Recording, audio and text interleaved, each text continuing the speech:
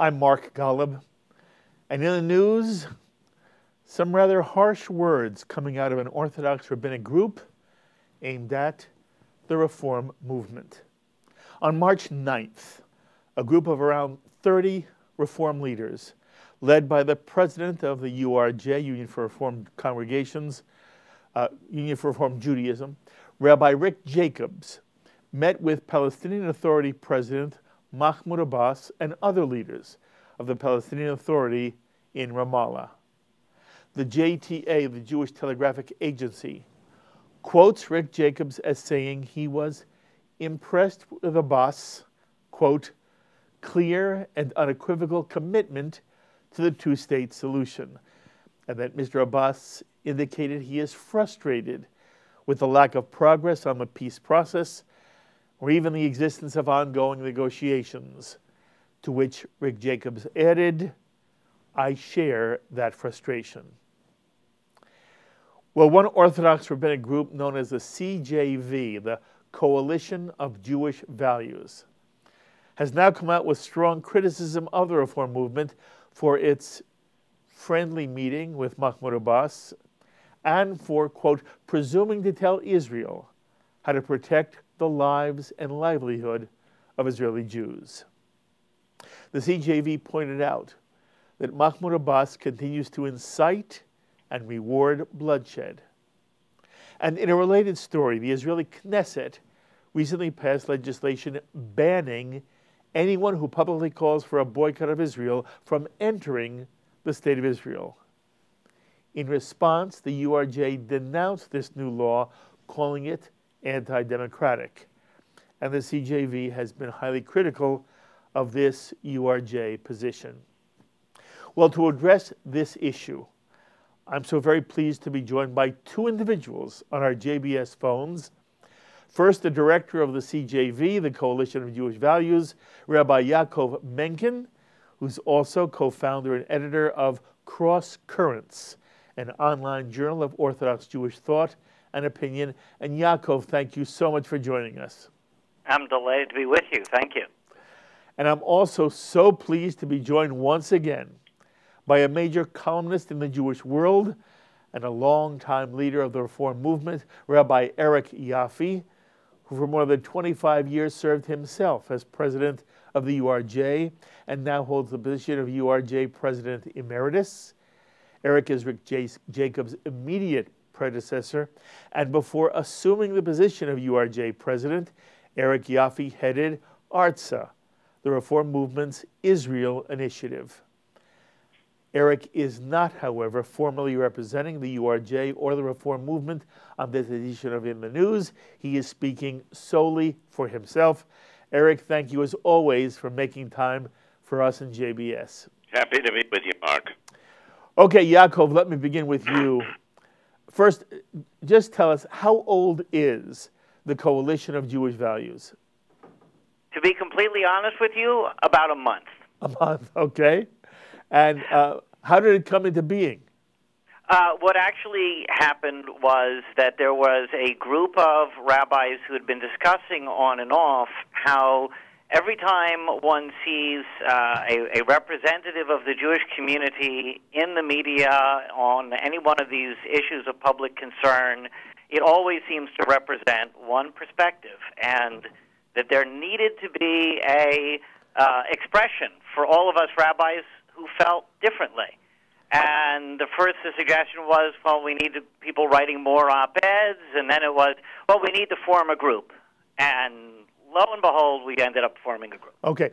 Uh, I assume. And then all I should say that all the rabbis involved here are uh, there are seven of us who are at the core, all of whom have uh, decades of experience in the pulpit or in teaching, and uh, we've been joined so far by, by, by several others, and we're increasing by the day. Okay. Uh, I, to simply uh, take a different viewpoint. Yaakov, I assume, however, the CJ, uh, C, the CRJ was it? The CJV is right. is, for Jewish values. is composed of Orthodox rabbis. Correct. Okay.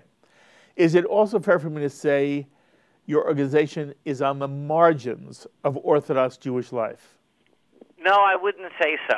meaning to say that all the rabbis who are represented are, are fully in the mainstream. We have RCA, which is to say the more YU modern Orthodox circle. We have the more right wing traditional circle, but all of us have long careers. In other words, you know, if you want to say marginal, it would be marginal in that, well, we're a relatively new organization and few have heard of us so far. But uh, as far as who we are and what we represent, uh, we've already been called a prominent Orthodox organization for, for no reason that I can figure other than the fact that the seven rabbis involved, all of whom have, have long careers in the public sphere. Okay. Are any of them in the modern Orthodox movement? Very much so. Who? We have RCA members, Rabbi Dov Fischer, Rabbi Steven Pruzansky, um, By the way, Rabbi, Rabbi Prozan- Yul Rabbi Schoenfeld. There, there's several of the members are RCA members as well. I understand. Rabbi Pruzansky is not normally said that he does not normally self-identify as a as a member of the of you know the Avi Weiss, Shlomo Riskin, uh, uh, Yitz Greenberg modern Orthodoxy. Oh no no no! We're not talking. They, they are actually what we now the group that's calling itself the Open Orthodox, Avi Weiss, um, That's not you. which is you know there, there there's there's a whole debate about Open Orthodoxy, which I, I will assume is not our topic for today. Exactly. But, uh, you know, they they identify themselves as Orthodox, but none of the mainstream Orthodox organizations actually agree with them. Okay. And then how do you position CJV politically on the spectrum today?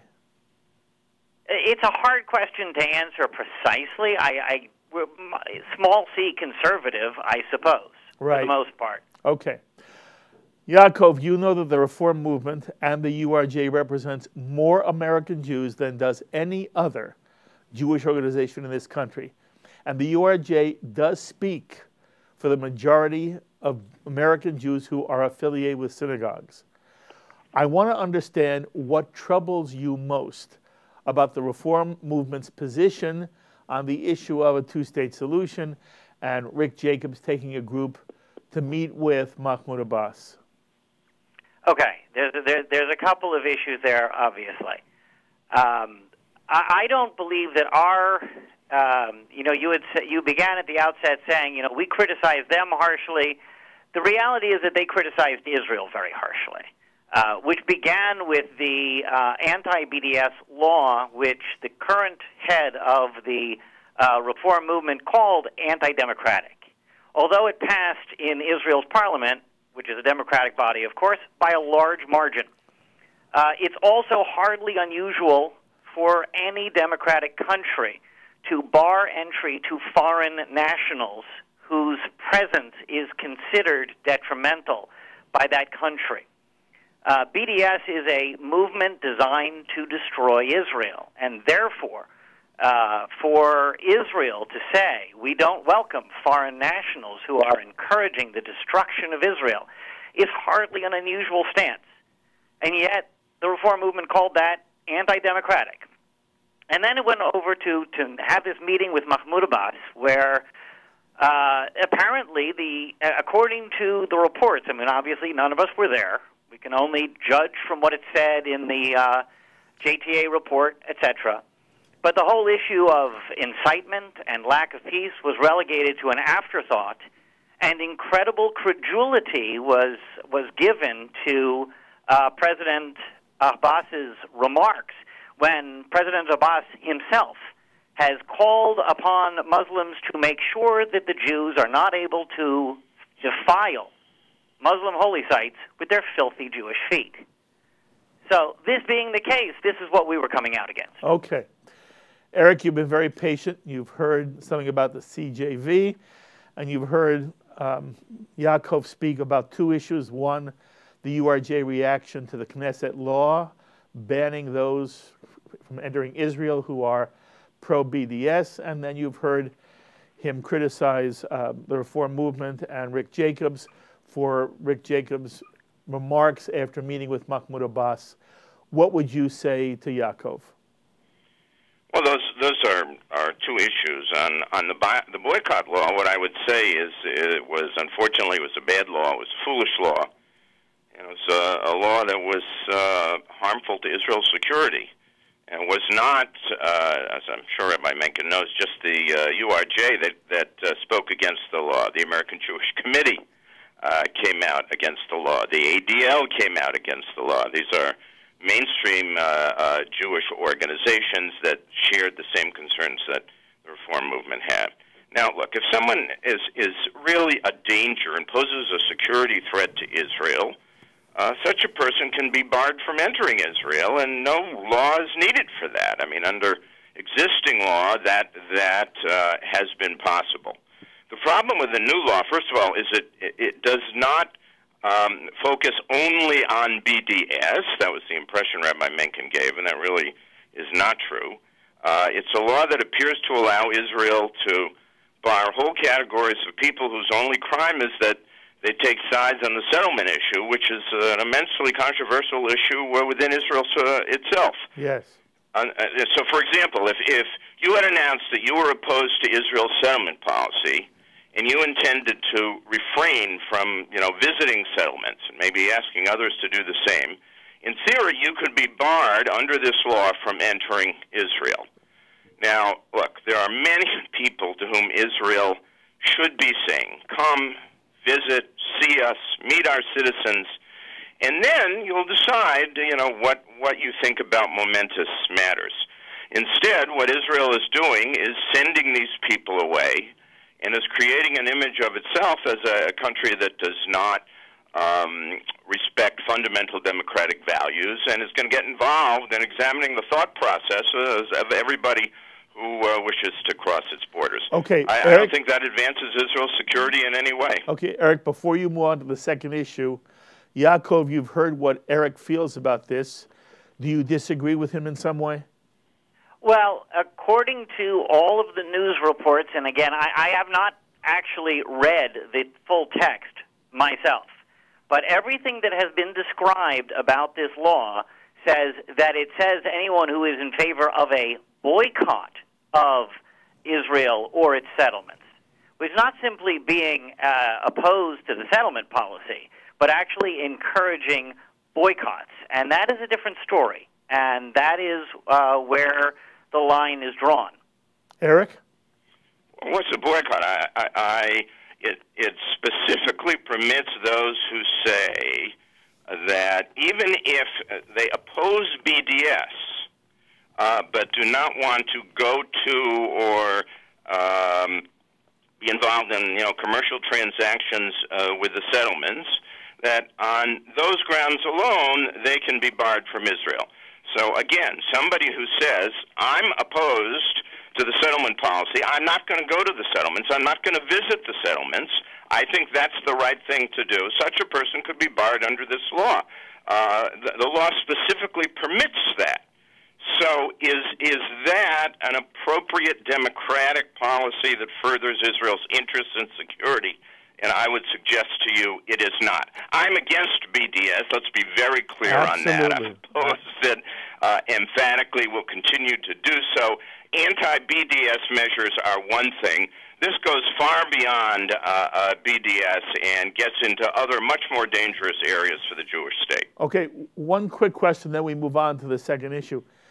You know, what Yaakov was saying was that this was a law passed by the Israeli Knesset, the duly elected Israeli Knesset, and that therefore there was something that made him uncomfortable about the fact that the URJ would, first of all, call it undemocratic, but also that the URJ or American Jewry in any way would not respect decisions made internally by the Israeli government. What would you say, Eric? Look, do American Jews have the right to speak out on matters relating to Israel, even when they disagree with Israel's government? And the answer is, of course, they do. They don't need anybody's permission. Uh, first of all, they have that right as American citizens. Um, but, but more fundamentally, Zionism is the national liberation movement of the entire Jewish people. Uh, you know, Zionism appeals to Jews everywhere and asks them to asks them to support Israel and to visit Israel and to consider living in Israel and to identify with Israel's destiny. So, you know, Israel and American Jews need each other. We're fortunate to be living at a time when there is an Israel. But if you want me involved as a Jew, that also means you need to listen when I have real concerns about Israel's values and policies. And uh, so, do I have a right to express those concerns? And the answer is I absolutely do. And it would be a terrible mistake and a misunderstanding of Zionism if that were to mean that, by the way, we're invited to the party, to the Israel party, the Zionist party, but any disagreement that you have, uh, you have to be quiet about. I okay. just, I don't accept that view of what Zionism is. Okay. Yaakov, any comment? Well, I, I would, I, first of all, I would comment that on when it comes to the issue of, of, of boycott of the settlements, uh, that, that Rabbi Yoffie has essentially agreed with me that it, the law is about refusing to do transactions with the settlements, which is, of course, basically a boycott. Um, but also, as far as uh, I, I don't believe that Rabbi Yoffie responded to you on the issue of, you know, this was a democratic action by a democratic Knesset. To call it anti democratic simply plays into the hands of Israel's worst enemies who want to say that Israel is not a democracy, which, of course, it is. And so that was very, that's a very dangerous statement in its own right, and it's inappropriate. As far as our ability to tell Israel what's good for it, I do believe that that is very muted for those of us who live in America. As much as the reform movement tries to attach itself to Israel, it has a vanishingly small presence in Israel and very little footprint in terms of people's relatives. I mean, I have a brother in law, I have nephews and nieces living there, I have teachers living there, and other friends and relatives living there. And so, of course, for me, there is an intense personal connection when we're talking about issues of personal safety of Jews living in Israel. Uh, I do feel that our ability as Americans has to be a little bit muted when it comes to security, and we're talking to people who are facing the dangers themselves on a nightly basis. Okay, Eric. I would I would just like to say I have a whole branch of my family that lives in Israel. I have Holocaust survivors in my family who live in Israel. So you know the notion that somebody else is going to tell me that well my personal connections give me uh, you know certain rights or whatever put me in a position you're not in is simply offensive um, uh, oh, I'm we, saying we're in the same boat. We're both in America. We don't really get to dictate policy to Israel. Is my point. Eric, we get to express our views uh, about Israel's destiny and Zionism's future we have an obligation to do so. The democratically elected government of Israel, which, by the way, obviously population includes non-Jews, uh, Arabs, Christians, and so on, they can listen to us or not. Um, uh, but they do have an obligation to hear what we have to say, and we have an obligation to express our views. Okay. Eric, I want to move on to the second issue. Eric, you've appeared countless times on JBS. And you've had a pretty consistent message that while you have strong support of the concept of a two state solution and what you call a cold peace, you've used the word divorce, is what we're trying to do, an amicable divorce. You've also said that you feel the current Palestinian leadership under Mahmoud Abbas has not proven itself to be a serious peace partner, and you don't expect a peace solution anywhere in the immediate future. So, independent of the CJV's criticisms, how do you react to Rick Jacobs' very lovely words about Mr. Abbas and his identifying Mr. Abbas and uh, as someone who really wants peace, and even saying that he shares Mahmoud Abbas's frustration? Well, first of all, I can't speak for Rabbi Jacobs. He needs to speak for himself. Uh, I, I certainly identify with his commitment to a two-state solution. Uh, how he evaluates what Mr. Abbas said about the two-state solution. You know, again, I'm not in a position to say. The heart of the issue, uh, it seems to me, was uh, the meeting itself. I mean, Ra- Rabbi Menken, uh, in his uh, in the statement of his organization, questioned whether or not such a meeting was uh, uh, appropriate. And um, you know, apart from the the substance of the statements, which we can enter into more if you would like, Um, my my view on the meeting is very clear. Of course, the the meeting is appropriate. There's absolutely no problem with such a meeting. President Trump uh, just called uh, Mr. Abbas, had what was described as a very friendly uh, uh, conversation with him, and then invited him to come to Washington. Uh, so I'm, I'm not uh, aware uh, of, of uh, CJV having issued a statement uh, attacking uh, President Trump because we all understand that uh, the current political realities are such that there's ongoing contact between the United States and um, the Palestinian Authority and between Israel and the Palestinian Authority. Uh, Israel's uh, leaders meet with the officials of the Palestinian Authority every day. Uh, the state of Israel has this contact because the PA uh, administers most of the West Bank, which is a blessing for Israel, and the PA security forces cooperate closely with the IDF in providing security for the territories and in fighting terrorism. That's a reality despite all of the political differences, which are very real and continue to uh, exist. Oh. Now, if Israel were to break relations with the PA, that would be a different reality.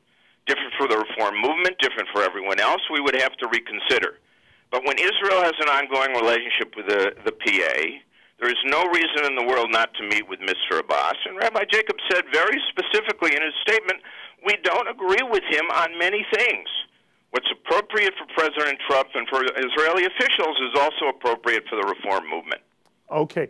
The only thing that sort of tweaked me, uh, and, and I agree with you 100% that there's nothing inappropriate about Jewish groups meeting with the Palestinian Authority, with Mahmoud Abbas. I was surprised, Eric, that Rick Jacobs would use the word I identify with Abbas's frustration because it suggests, it seems to me, that what Rick Jacobs was saying was that the lack of progress in terms of a peace process really was Israel's fault. And that as Abbas was frustrated that Israel isn't willing to meet, Rick Jacobs is saying, Yeah, I share that frustration about Israel's failure. What was your sense of that? Well, I mean, again, obviously I wasn't there. That's not the way I took it. Uh, uh, I uh, took it to mean that uh, Abbas is committed to two states. The reform movement is committed to two states. There's been a great deal of discussion now on the whole two-state question. Is it a good idea? Is it not a good idea? And uh, all of a sudden, we're involved in a debate about fundamentals, which were things that we agreed on um, until very recently. When I say we, I mean the state of Israel and the United States government and much of the American Jewish community. So there is frustration on that point, and I took Rabbi Jacob's comments to be referring to this okay. issue here. Okay. By the way, our viewers should know that as much as I love having Eric on, you see him on all the time, we felt it was appropriate to call the URJ directly, which we did. We also called ARZA directly. Unfortunately, they had no one available to represent them formally. And of course, Eric, as a past president of URJ, and is obviously someone who is a major thinker in the reform movement, it was wonderful having him on. But I did want you to understand we did try to reach somebody formally at the URJ. Okay, Yaakov, you've heard Eric's position. What's your response? So I do not believe it characterizes our statement correctly to simply say that we objected to the idea that there was a meeting. Not that I believe that a meeting is always appropriate with just anyone. I think that Rabbi Yoffie would probably agree with me that when these Neturei Karta idiots go over to meet with Ahmadinejad in Iran, they're not helping anybody in the Jewish people. Uh, it, it doesn't help us when what we're actually accomplishing is giving cover to terrorism or antipathy towards Jews. Is it is this supposed to be a benefit to us? Did it help the Jewish people? That, of course, has to be the, the prime consideration for any Jewish religious organization. And what we objected to was the tenor of, of the chat. This friendly conversation in which, as you already pointed out, uh, there seemed to be an acceptance that Israel is somehow the intransigent party when it comes to accomplishing a two state solution. But there is another issue, which is the fundamental lack of veracity of the things that are coming out of the Palestinian Authority and what appeared to be Rabbi Jacobs' credulity. If, if I recall correctly, Rabbi Yoffie, I believe, you wrote, uh, well, nearly two decades ago at this point, that Arafat had hugely disappointed you. That as someone who supported a peaceful solution, you were forced to realize that Arafat had not been telling the truth and that he was, in fact, still committed to bloodshed and mayhem when that suited his political purposes more. Uh, I believe you wrote that in 2000. Am I recalling correctly? Um, yes. And and so this is something we've encountered with the Palestinian Authority before. And what alarmed me in particular was when Rabbi Jacobs referred to the uh, the need to stop incitement, which was, according to the JTA reports, it was practically an afterthought. And when confronted with his issue of incitement, Rabbi Jacobs reported that Prime Minister Abbas had, President Abbas had said that he, he acknowledged it was a quote real challenge and would require an anti-incitement trilateral mm-hmm. committee to be revived. Now, this is again from a man who is himself uh, talking about filthy Jewish feet and praising bloodshed in Jerusalem.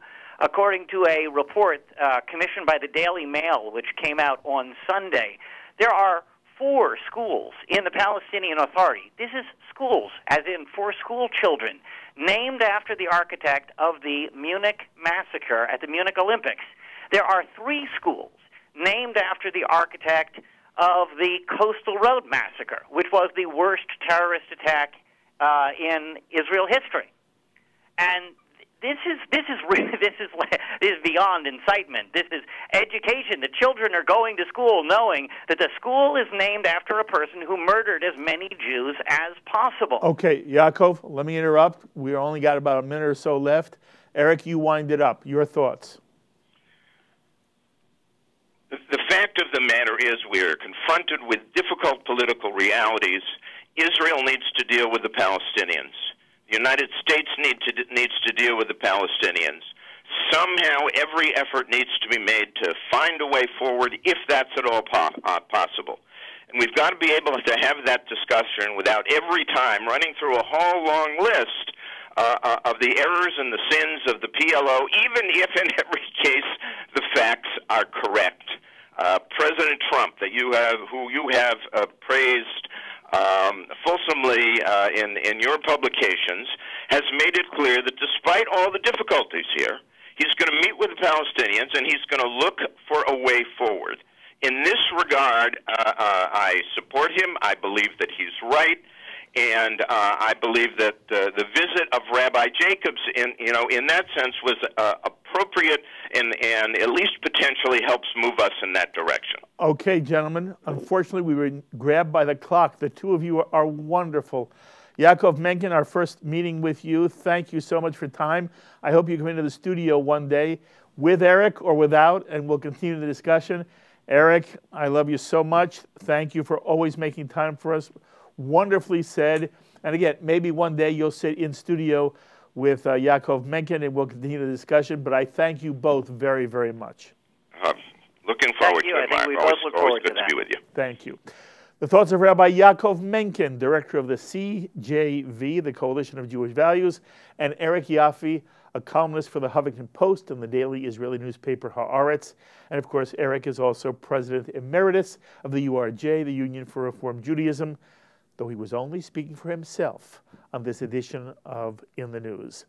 My thanks, as always, to our director and program coordinator on this edition of In the News, Serge Goldberg. Great job, Serge. JBS's Associate Director, Dara Golub. Editors, Dennis Golan. Great job, Dennis and John McDevitt. And to the producer of In the News, Carol Lilienthal. Until the next time, I'm Mark Golub. Be well, my friends.